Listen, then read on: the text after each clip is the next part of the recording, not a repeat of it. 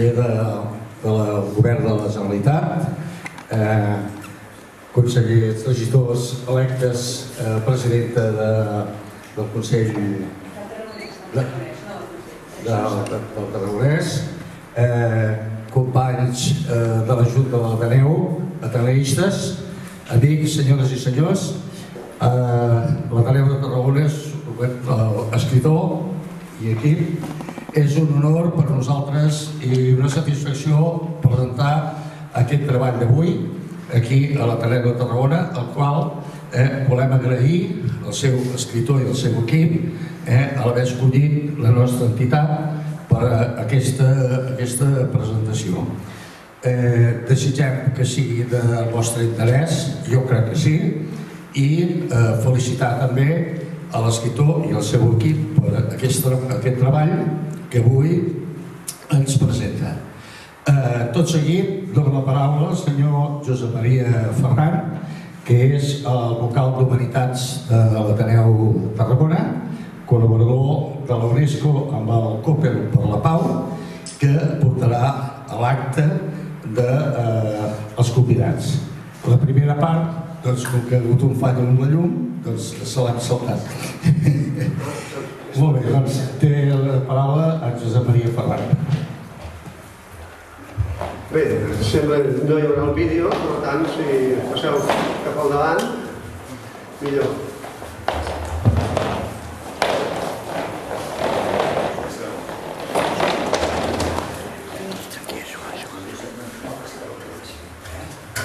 Bé, eh, l'escena, diríem que ha passat un vídeo, però record no pot ser. Ara ens situarem de que passat el vídeo, eh, amb ells els hi fa, els fa unes preguntes i partint dels llibres que està a la saga, els tenim fora i anirem ambientant la situació. No? En primer lloc és presentar amb vostès el Josep Rull, és llicenciat en dret. Josep Rull, molt bona, bona tarda, eh? està aquí a Tarragona avui.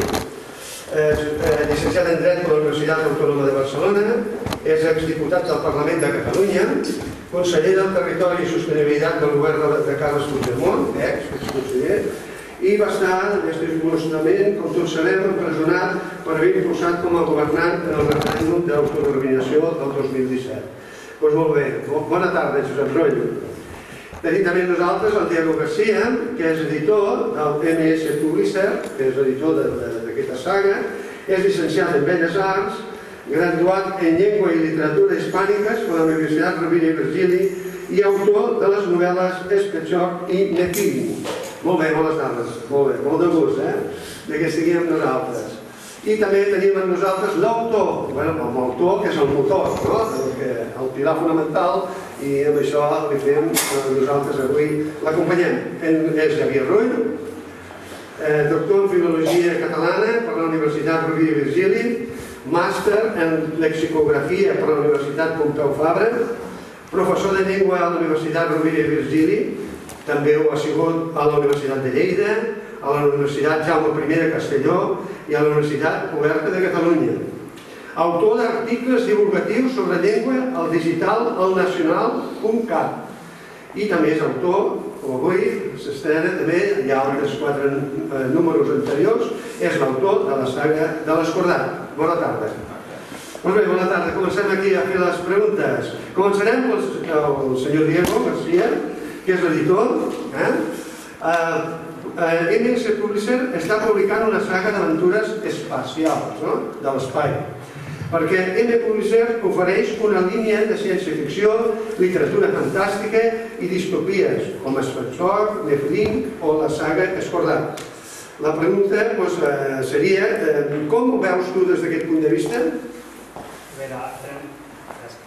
Hola, bona tarda. En principi, quan fa poc que vaig agafar l'editorial i un dels propòsits que volia fer d'aquesta editorial era publicar obra en català i sobretot de ciència-ficció i distopies que no hi ha gaires editorials especialitzades a, al país. No? Llavors, eh, considero que és interessant donar aquest tipus de literatura a oferir en català, que normalment no trobem solament en castellà aquí a l'estat espanyol.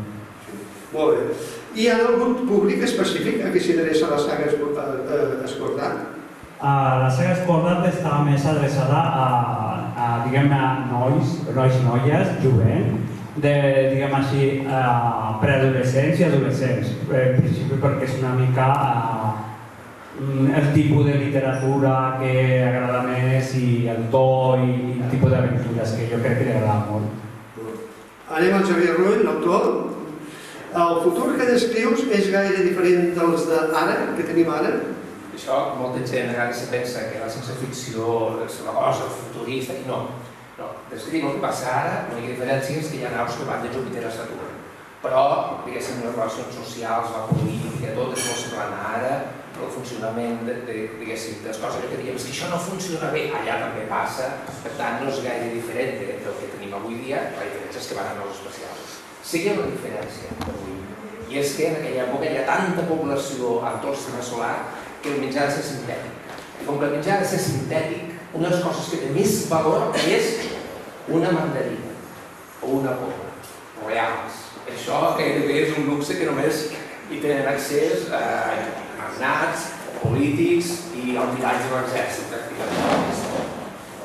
I pel que fa a l'estil narratiu, hi ha cap innovació o també et bases en el que hi ha?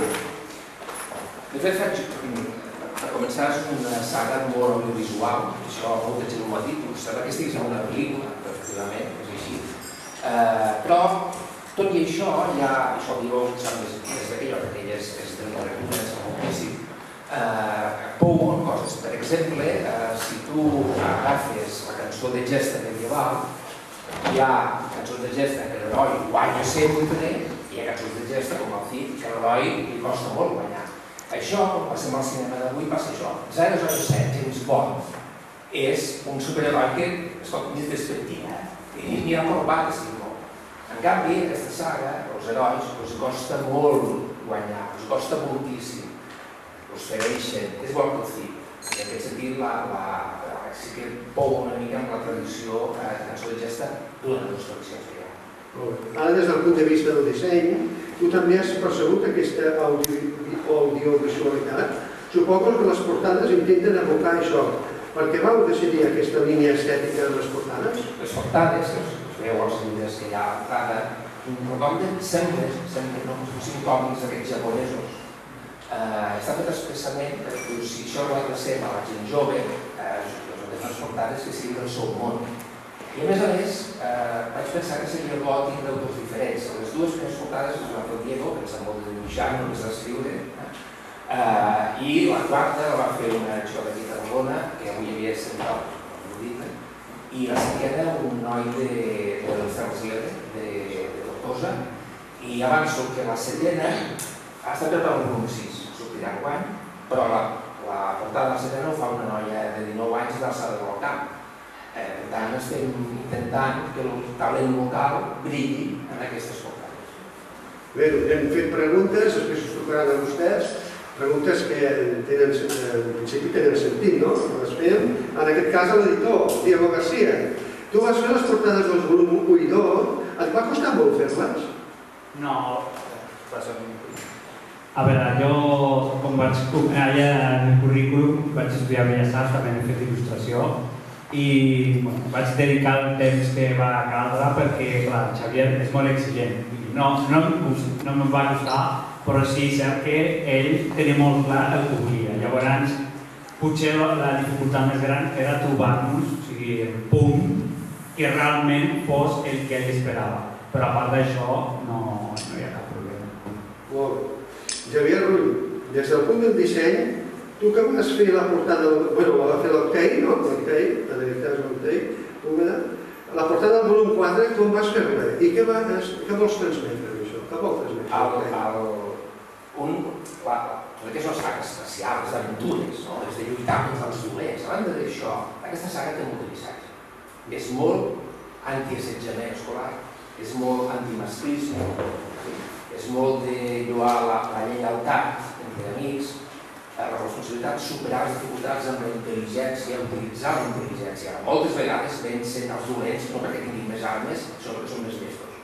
Tot això va sortir de la saga. Per tant, és un missatge ideal per als adolescents com deia el Diego. Llavors, la portada del volum 4 és a Mart, enmig d'una tempesta de sorra, un personatge caminant amb una pistola a punt de disparar a una altra persona. És l'última escena. I li vaig explicar el que un estiu, havia entrat a Vilanova, li vaig explicar, em va dir, ostres, però és una passada aquesta, aquesta escena. Llavors li dic, doncs, diu això. I ella, clar, què vols fer? Un que està a punt de disparar, no, no, que està a punt de disparar contra el lector, ve cap al lector. I aquesta força és perquè és una escena molt, molt intensa narrativament. Aquella pistola només hi ha una bala que és expressament. I jo que estava a treure i se tanca el moment, i està a punt de disparar. I aquell moment és quan el lector no sap si dispararà o no dispararà. I no us faig spoiler. Però ja us dic que el que passa és brutal. Per això aquesta noia va dir, fes la portada tu. I ella va relacionar aquesta cosa. Tècnicament va costar, perquè és una tempesta de sorra, i ella va agafar imatges de mar reals amb tempesta. Les màquines tenien a NASA allà. I va agafar uns píxels i els va posar. Després allò s'havia de, de posar en format dibuix, això no ho va fer Diego, però realment allà hi ha una foto real d'una tempesta de mar. Bé, com podem comprovar, hi ha una gran labor, un procés creatiu, de situacions i tal. Però tenim amb nosaltres el Josep Rull, polític. Ah, què té a veure? Com vas conèixer la saga? Carai, perquè el Xavier és el Rull, com a concepte de... I que... I això he estat investigant. Hi ha una pàgina web que us recomano que l'exploreu de tant en tant, que és la pàgina de l'IDESCAT, que et permet establir, poses el teu cognom, els teus cognoms i saps quanta gent comparteix el teu cognom com a primer cognom, com a segon, i on són. I la comarca de Catalunya que té més ruïns és el Priorat. I el municipi de Catalunya que té més ruïns és Falset. Però un percentatge que és espectacular. És espectacular mirar. I així vaig més o menys mirar, ho mirava des de feia temps, on són els rulls de Catalunya. I els rulls de Catalunya són a la Segarra, a casa meva originàriament són a la Segarra, la Conca, l'Alt Camp, Baix Camp, Tarragonès, Priorat i una part del Baix Ebre. Aquí hi ha la concentració de rulls del, del, del país. I quan era a la presó, doncs a través de la meva dona en primera instància i a través de correspondència, em diu, hi ha un tal Xavier Rull del Priorat de Falset i Costi, el Rovell de l'Ou, ja directament, que ha fet uns llibres i els agradaria poder compartir amb tu. I sí, sí, em van entrar els llibres i jo vaig quedar, vaig quedar impactat, eh? perquè dins la presó diguem-ne, tots aquests inputs són extraordinàriament importants.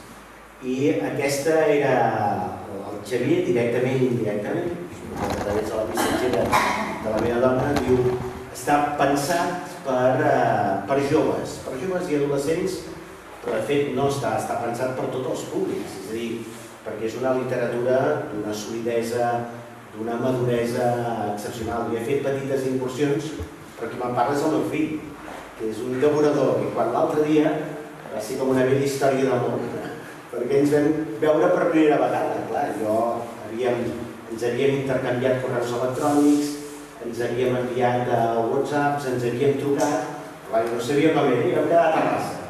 I jo estic, vaig conèixer el Xavier Rull, diguem-ne, el meu fill m'ha dit, vas a veure el Xavier Rull, pare? Dic, sí, vaig a veure el Xavier Rull. Sobretot, digue-li que perquè, perquè enganxa, i és això. I després el vaig conèixer, diguem-ne, el Xavier, i vaig conèixer l'home de universitat, vaig conèixer el pedagog, vaig conèixer el patriota, deixa'm-ho dir en aquests termes, perquè en aquests moments el teu compromís amb Catalunya, la seva llibertat, diguem-ne, s'expressa en aquest cas fent bona literatura, fent bona literatura en català, fent bona literatura adreçada a la gent jove, que és diguem, el futur de la, del país, el futur de la nació, jo crec que vam establir un nivell de complicitat que va ser molt, molt intens. Per tant, ha sigut com una, com una història allò extraordinàriament singular i per mi molt, molt, molt fructífera, perquè jo a la presó també vaig escriure un, un llibre, en aquest cas és un estil radicalment diferent, Però, ostres, eh, jo pensava que seria al principi un llibre, però una saga que tingui tota la coherència que té i que tingui aquesta intensitat, jo crec que això és simplement impagable. Per venir aquí també m'he submergit a la xarxa i he vist com tu vas a diversos instituts, la presentes, és un bon element per, per motivar la lectura. I tal com està plantejat aquest llibre, jo, jo recordo quan, jo soc de l'any 68, com a diguem-ne, i ens obligaven a llegir, ens obligaven, i subratllo obligaven, a llegir determinades coses que era, diguem-ne, que la ferida de Torres, està molt bé la ferida de Torres, eh? però, eh, diguem-ne, això no et fa estimar la lectura. I eh, afortunadament, doncs hi ha Jordi Sierra Fabres, hi ha Xavier Rull, que et donen la possibilitat, quan ets jove i quan estàs estudiant, de poder accedir a la literatura amb uns termes, diguem-ne, que valen, la pena. I darrera qüestió, si, si hi ha pregunta en aquest sentit o no, no, ja, ja, ja faràs la pregunta i ja respondré, però és bàsicament amb aquests termes que, que ens vam conèixer i per altra banda tangencialment que els protagonistes siguin fora de la llei. I jo també n'era fora de la llei, de la llei espanyola, per entendre's, i per tant hi ha un punt de complicitat amb els personatges, amb els herois d'aquesta saga, en un món que és un món eh, complex, però suposo que després en parlarem. Acabem de descobrir, per tant, que no és una lectura personal i una estima per la lectura, sinó que és familiar, implicació familiar, i per què no col·lectiva i de país. El Xavier Rull, autor, hi ha un missatge latent en la superació personal? Sí, sí, perquè el, el, aquí hi ha el Genís i la Maria, que són això, adolescents, els han llegit, i, i poden certificar no? que, és, és, són uns herois, són uns herois. Sí, sí. El volum 7 comença quan podem quedar clar que són adolescents. Els passa una cosa que el nen que acaba plorant d'impotència. No ho pot solucionar. Esclar, aquests lectors que s'han llegit el volum, o un 4, que, que, que no es trepitjar per res. No, no, no, no. Hi ha un moment en què veus que són trepitjats. Però reaccionen, reaccionen i fan un, un, un procés mental de reacció que és el que es converteix en aquests futurs herois. Quan tots s'estàs comptant, ells són herois, però és que han hagut de patir abans. No?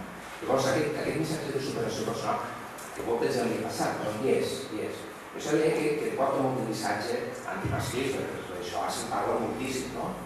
L'antissetjament, la superació personal. I això, per tant, no és només passar-s'ho bé, que s'ho passin bé, la canalla s'ho passin bé.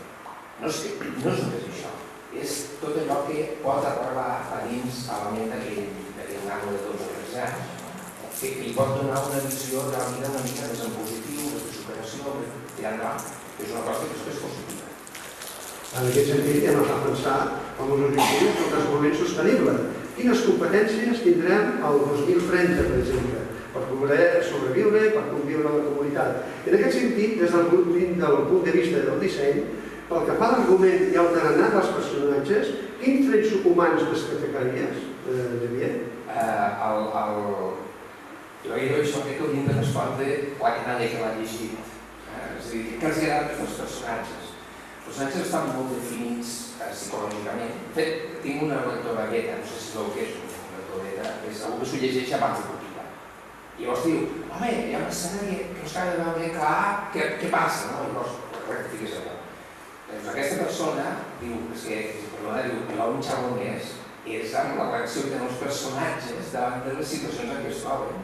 La seva manera de ser, no? Va, clar, fins i tot com, com hi ha algun que fum la pota més una vegada, no? però és, és que és com és, és que és ell, no pot evitar-ho. No?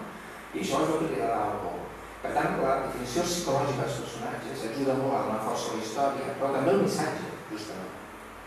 Un personatge que, que el dia ho sap que és gros, gros, que em va posar el tatuatge aquí, quan jo deia que era aquí, i vaig de canviar el text, que el tatuatge fos aquí, que m'hi fa un dibuix, però es podia ficar. Eh, aquest personatge és, és, jo, jo no explico clar això. Eh, Robin Hood té un gran amic, és un Deere, i és un home fort. O alguns ho recordareu, el senyor Cobo Jiménez, Pablo Jiménez, per Sant Jugar, que era jove, no? Tenia l'estudiante, tenia un... i tenia l'Argol, eh, que sí? I era un home fort. Eh, Fixeu-vos que Redoi sempre té un amic fort al costat, no va donar jo, recordo això. En fi, eh? Per tant, aquesta psicologia dels personatges és, és una cosa que hi pot sucar, eh, diguem-ho així. Bé, tenim dues preguntes ja per acabar. El nostre Josep Rull, el nostre polític, que el tenim aquí. Què destacaries del missatge de la saga i del seu impacte social? És bàsicament això que deia el Xavier, no? que és, eh, és no només explicar un relat que genera atenció, que genera passió en el lector, sinó els valors que hi ha al darrere. I aquest element, aquesta càrrega de valors és absolutament determinant. I explorar determinades paradoxes. Que allò que teòricament és el poder que hauria d'estar endreçat és on hi ha el, el dipòsit de maldat més intens. Allò que teòricament diguem-ne, hauria de ser previsible és el menys previsible. I els que estan fora de la llei acaben sent els que representen els millors valors. I aquesta és la paradoxa que s'intenta explorar.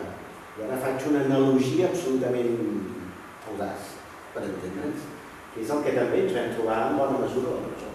Teòricament, el pretès estat de dret era absolutament arbitrari, era injust, era brutal en molts aspectes, mentre que a dins la presó hi vam trobar codis de comportament, hi vam trobar la maldat fit a fit, però vam trobar codis de comportament que eren molt més lògics, molt més raonables, diguem-ne, molt més xupats dels millors valors. No?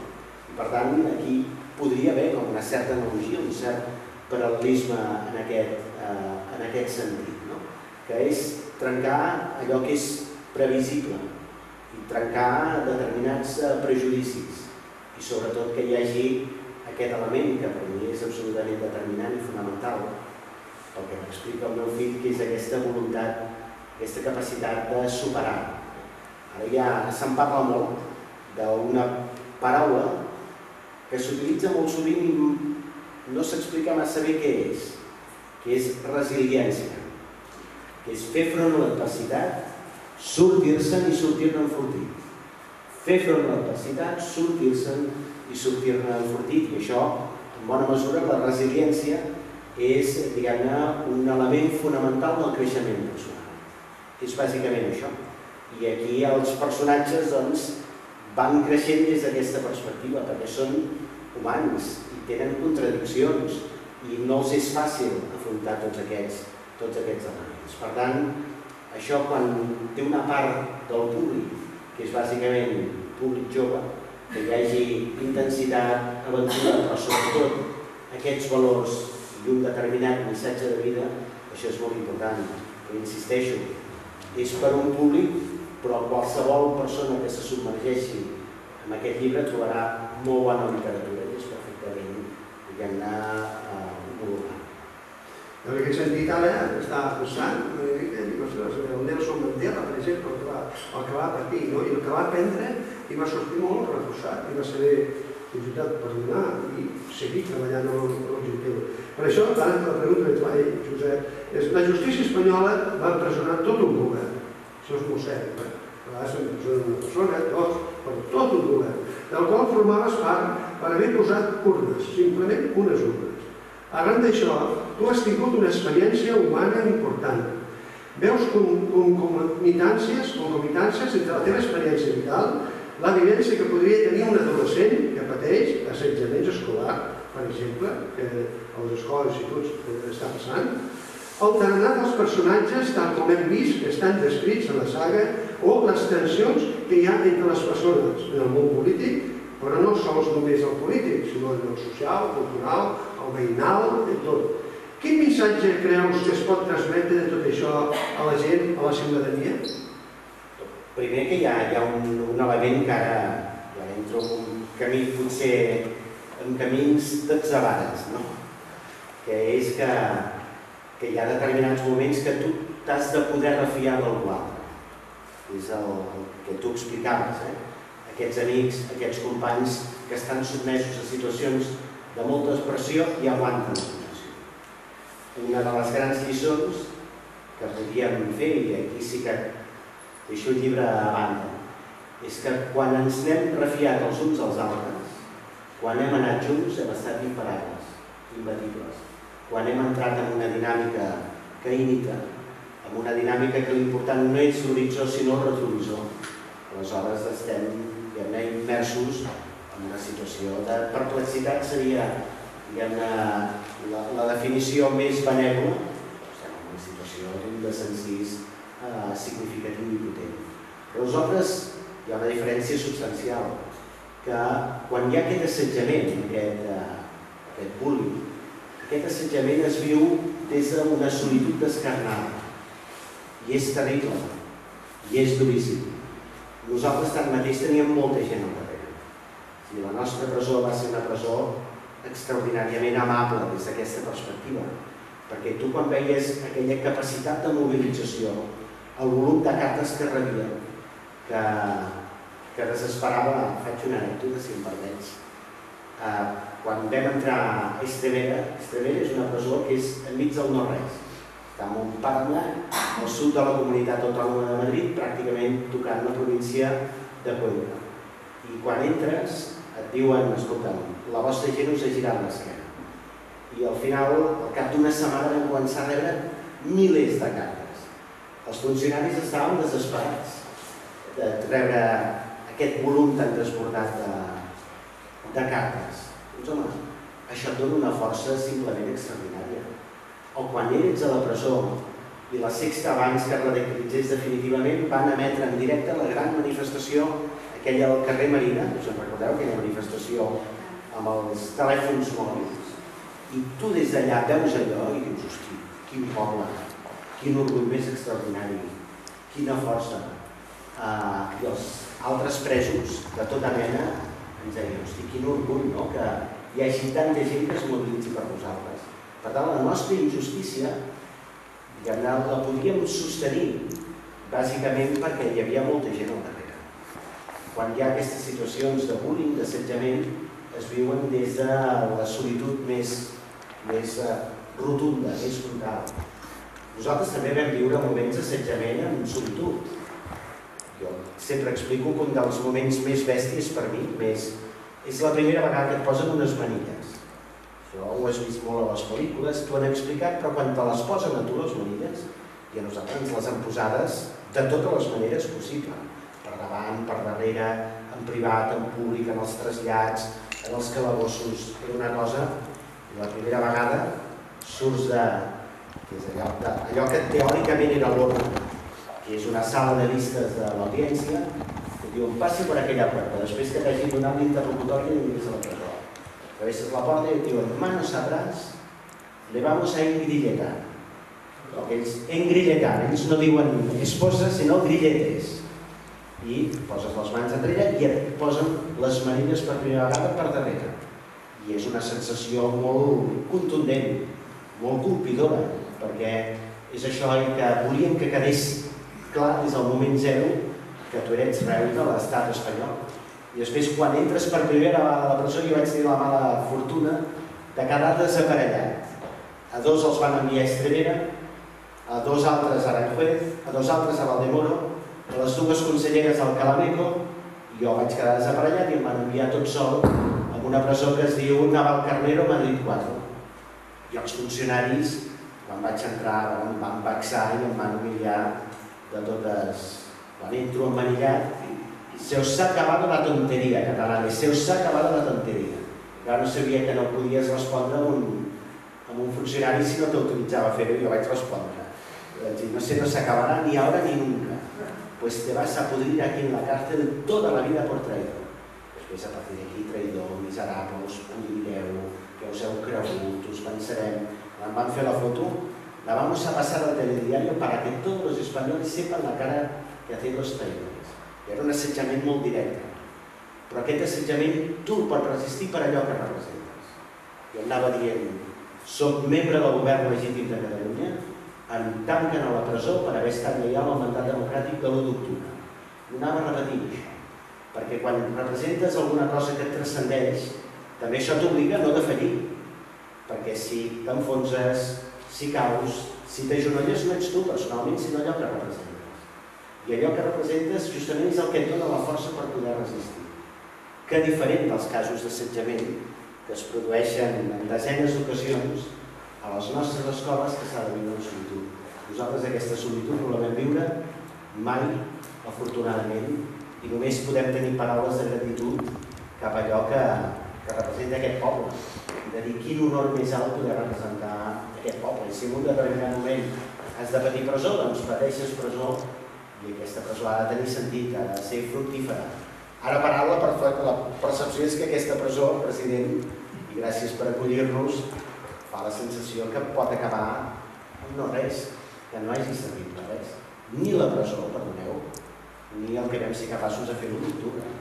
Que la gent va donar la cara, la gent d'aquest poble va ser molt valenta, molt valenta davant d'un estat. En aquest cas sí que els dolents s'hi poden assemblar d'un estat absolutament brutal. Un estat feble, que és tan feble que ha de desmantellar el seu estat de dret i ha de recórrer la violència extrema per abatre unes idees legítimes. Això vol dir que nosaltres som molt més forts del que ens havíem imaginat si haguéssim estat una cosa menor, secundària, residual, no fan tot això que estan fent. I per altra banda també, paradoxalment, que ells són més dèbils del que ens havíem imaginat. Però, acabo, nosaltres mai no vam viure en solitud, sinó representant un poble extraordinari. Molt bé, gràcies, Josep i Diego. Eh, ara toca la part de la ciutadania, les persones, tots som iguals, hi ha gent de jerarquies, aquí tots són iguals, ha dit unes coses molt importants i, i veig que llegint aquestes obres pot aixecar la teva autoestima i el teu autoconcepte i també ho he vist, he vist que si es fan família, de pares i fills, encara donen molt més resultats. Amb seguir lluitant a favor dels drets humans, lluitar perquè no passin aquestes coses, no? els bullyings que passen en el món veïnal, en el món escolar, que s'estan prenent mesures, però és llastimosament que una persona sigui el que li hagin fet, que entrar per un lloc que es diu la presó, a més hi hagi aquestes eh, pressions que una persona que té prou pena d'estar allí, no? a part del tot el procés que pugui haver després. No? I moltes gràcies per les vostres intervencions i ara us toca a vosaltres. Si hi ha alguna cosa que voleu dir, eh, pronunciar, preguntar, estem a la vostra disposició. Vinga, animeu-vos, trenqueu el gel. Hi ha algú que vulgui trencar el gel? Molt bé. Perdona, l'autor no us preguntar al final de la saga, perquè ja ho sabia fer spoiler, no seria lògic que li preguntés. Però el Josep Bruig sí que m'agradaria preguntar quin és el final de la saga? La llibertat, aquest hauria de ser el final de la, hauria de ser el final de la saga. Jo crec que depèn més de nosaltres que no pas dels altres. Quan vam començar aquest procés, jo em pensava que depenia molt, diguem-ne, de l'estat espanyol. Ara m'adono que depèn molt de nosaltres. I si ens estem allunyant del final de la saga, diguem un final gloriós, no és per l'estat, sinó per la nostra pròpia incapacitat. Per tant, eh, si no som capaços de posar el focus aquí, no ens en sortirem, però depèn d'això. I després hi ha la suma de molts elements que també es combinen aquí, eh? en, aquesta, en aquesta saga hi ha els elements tangibles, i ho explicava el Xavier, que són la capacitat de fer bé les coses, de gestionar-les bé. L'1 d'octubre és una combinació perfecta de tres elements. Per una banda, un projecte que embolcalla tothom, que jo el definiria amb allò que, que de manera sublim va dir Muriel Casals. No som aquí per buscar un somni, nosaltres som el somni és aquesta idea que és extraordinàriament poderosa. Hi havia això, hi havia un segon element, que hi havia molta ciència. L'1 d'octubre, sabeu quantes urnes vam fer servir per fer l'1 d'octubre? 7.000 urnes, entre 6.000 i 7.000. En teníem preparades 18.000 per si de cas. Això tan català de per si de cas. Sabeu quantes urnes van interceptar els serveis secrets espanyols? Cap zero ni una perquè el nivell d'organització era extraordinari i el nivell de compromís de la gent era altíssim. La gent que tenia l'urna a casa seva no ho deia els familiars més directes, no per protegir-se d'ells, sinó per protegir la causa comuna. Teníem pla, pla B, pla C, pla D, en relació a les urnes, en relació als cens, que ens el van torpedinar i després vam fer el cens universal que va permetre que la gent pogués votar fora del lloc on estava eh, específicament, eh, diguem-ne, originàriament eh, plantejat. I per tant hi va haver molta ciència, un projecte, molta ciència i un tercer element. Que ara, diguem-ne que a mi m'agrada molt Joan Maragall, el poeta, que té, defineix la bogeria. I diu, i la nostra bogeria serà la més dolça de les savieses. Nosaltres tenim un punt d'audàcia d'aquesta bogeria sàvia. Ho defineixo en termes d'un dramaturg francès que es deia Jean Cocteau, que deia, ho van aconseguir perquè no sabíem que era impossible. I nosaltres, quan vam fer l'1 d'octubre, no sabíem que fos impossible fer-ho. No ho sabíem, tenim aquest punt de, de bogeria, per entendre, de bogeria sana, una bogeria acompanyada del projecte positiu i acompanyada de la ciència. Però no us ha passat a vegades a la vida que, que fas coses que són simplement excepcionals, extraordinàries, i que hi ha hagut algú que considera que els límits de l'univers són infranquejables. No, no ho són. Aquest punt d'audàcia que nosaltres tenim. Ara, quin problema tenim? Un, que tenim un problema de projecte, que el projecte s'està convertint en un projecte poc amable, perquè no té aquest element de generositat i de transcendència que deia la Muriel. Dos, renunciem a fer ciència, que vol dir aprendre de tot allò que ens ha passat per ser més forts. I el tercer element, diguem-ne que aquest punt d'audàcia, doncs és el que ens ha intentat fer l'estat espanyol, que és a dir, injectar la por, de dir el mur és demasiado alto, de passeu pàgina, que no veiem, que no us en sortireu. Per tant, nosaltres hem de tornar a recuperar els tres elements. No?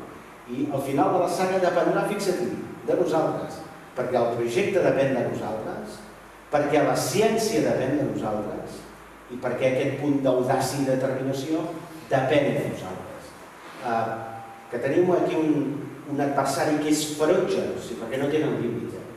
Jo ho he acreditat, no tenen límits, no s'aturen absolutament per res i tenen un poder extraordinari. Però nosaltres, tanmateix, vam arribar més lluny que mai des de 1714. Més lluny que mai.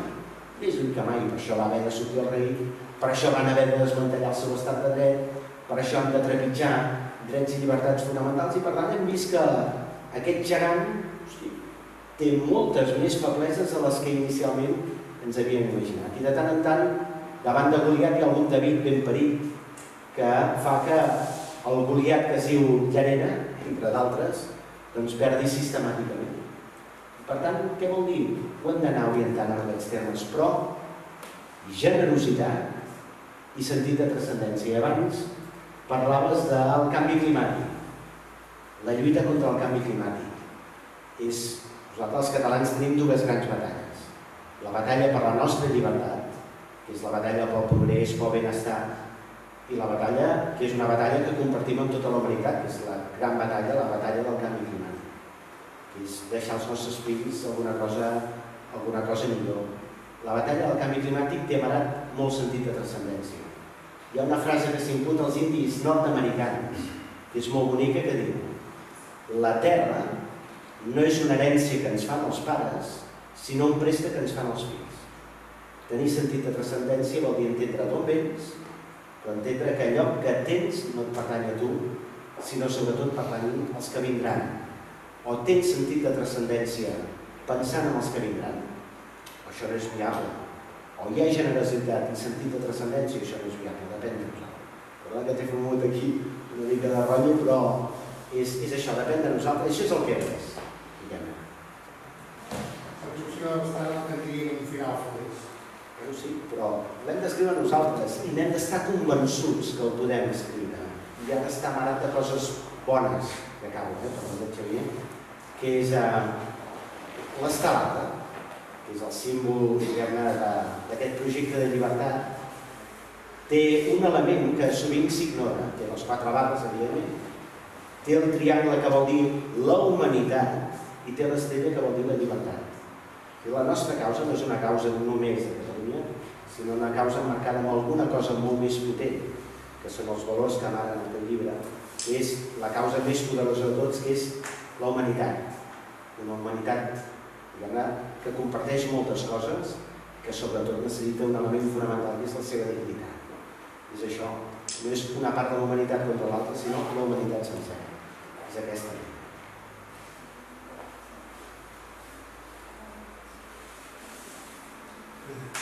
Més? Aprofiteu, eh, que avui... Si us els llibres, sobretot compreu-los i feu allò Sí, que valen molt, molt la pena. aprofitant l'ocasió, eh, ja que tenim aquí, i ha vingut a Barcelona i és un No, sacrifici. no, no, no, no. L'important és ell.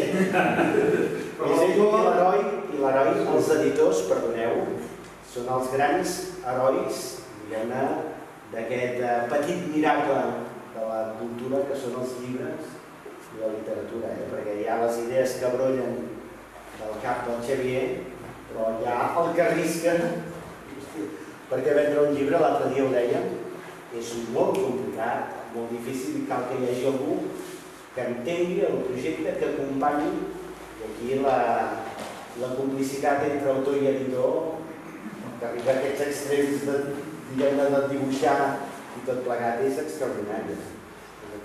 Eh, fora d'aquí, jo volia fer una pregunta a l'autor, perquè, clar, a veure, eh, si ja encara continuaràs, no? Encara tens perspectiva, no?, de continuar. Eh, quina eh, diferència o faries, podries dir, entre el que seria Harry Potter, que tindria una gran venda, que també feia històries, aventures, en relació a la teva obra? són molt diferents, però la, la, la, la... la gravata té, moltes coses eh, humanes. Aquesta sagrada és molt humana. És allò que, que, que els costa molt guanyar. O quan guanyen és al final perquè fan, han de fer un invent que ningú s'ha vist creat. De fet, l'exmilitar que està amb ells, hi ha un moment que es és que té unes coses per superar els mafiosos, no sé què, que, que, és que jo no sabia que es podien fer. No sabia que es podia fer això. I ho fan, ho fan per superar. Sí? Per tant, és molt humana, però també té alguna, tros més fantasiosa. Eh? Aquesta no, eh, aquesta és que ens ho peguen, és que els fereixen, és que els dienten bales, els hem de posar a esturar. Ah, hi ha moments que estan a punt de morir, però se'n surt, eh, clar, perquè, diguéssim, els bons preguanyen, no totes les pel·lícules, però els costa molt, clar. Llavors, és, en aquest sentit, és, és molt humana. Molt humana. Doncs molt bé, gràcies. La paraula al senyor president, si algú que vulgui dir alguna paraula. Bé, doncs, tres cosetes molt ràpides, volia comentar. Eh, la primera és que aquí a l'Ateneu també fem publicacions i vam, vam telefonar eh, al Calà Beco, el CEP, vam telefonar, escolti, eh, escúchame, eh, mire, eh, somos del Ateneo de Tarragona, quisiéramos enviar unos libros a los patriotas catalanes que están aquí. Ah, sí. Bueno, y pues, ¿qué puede ser?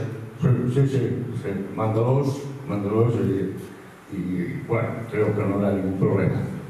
Bueno, vam enviar els llibres i els llibres al cap d'un mes i mig o així van ser retornats i el més segur és que no van arribar. Bueno, una, una petita anècdota sobre aquest tema. La segona és que eh, ara a continuació eh, tindrem els llibres els que vulguin fer-se amb algun exemplar, eh? Eh, llibres interessants, segons s'ha explicat, i a més a més jo que he pogut llegir les, la, les sinopsis, crec que us agradarà a tots i a totes. Eh? Aquí a l'entrada tenim una taula eh, on els podeu adquirir i eh, després hi ha una copa de cava, eh, gentilesa del de, nostre autor, per tots vosaltres. Així doncs, si, si no teniu cap més pregunta ni res, només agrair-vos eh, la vostra presència aquí a l'Ateneu de Tarragona, que ens honra i que sapigueu que l'Ateneu de Tarragona és la casa de tots, que està oberta a tothom i que quan vulgueu, quan necessiteu, l'Ateneu de Tarragona us rebrà amb els braços oberts. Moltes gràcies.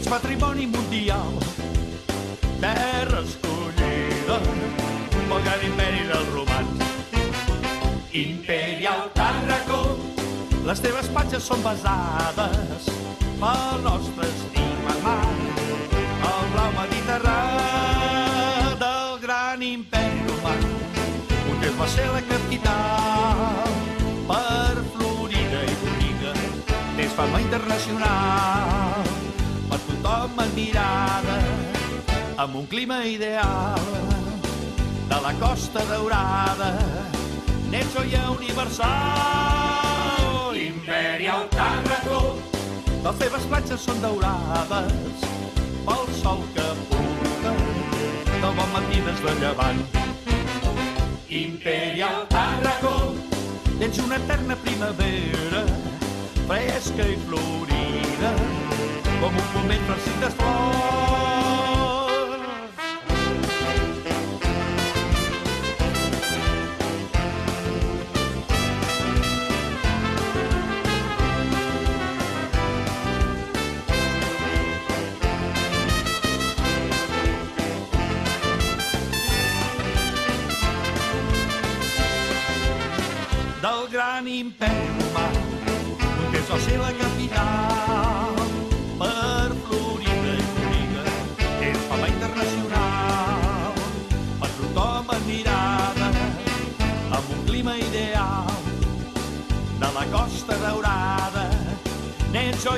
universal. Imperial Tàrraco, les teves platges són daurades pel sol que apunta de bon matí des de llevant. Imperial Tàrraco, ets una eterna primavera, fresca i florida, com un moment farcit de flors.